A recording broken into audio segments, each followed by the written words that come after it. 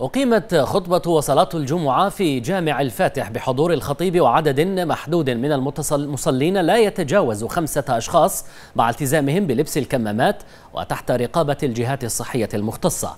يأتي ذلك في ضوء التوجيه السامي لحضرة صاحب الجلالة الملك حمد بن عيسى الخليفة حفظه الله ورعاه. وبعد أخذ رأي المجلس الأعلى للشؤون الإسلامية وفي ضوء توصية الفريق الوطني الطبي للتصدي لفيروس كورونا كوفيد 19 وذلك لنقل الخطبة والصلاة عبر أجهزة الإعلام لإظهار شعيرة الجمعة واستفادة الناس منها.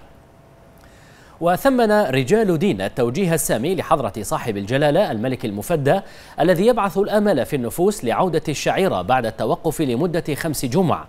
وأكد رجال دين أن قرار إقامة صلاة الجمعة في جامع الفاتح بخطبة مذاعة عبر وسائل الإعلام يأتي في سياق الاستفادة العلمية من الخطبة وأسوة بالحرم المكي الشريف لكن يبقى أداء الصلاة في البيوت ظهرا بأربع ركعات ولا يجوز أن يؤتم بالإمام من خلال التلفزيون.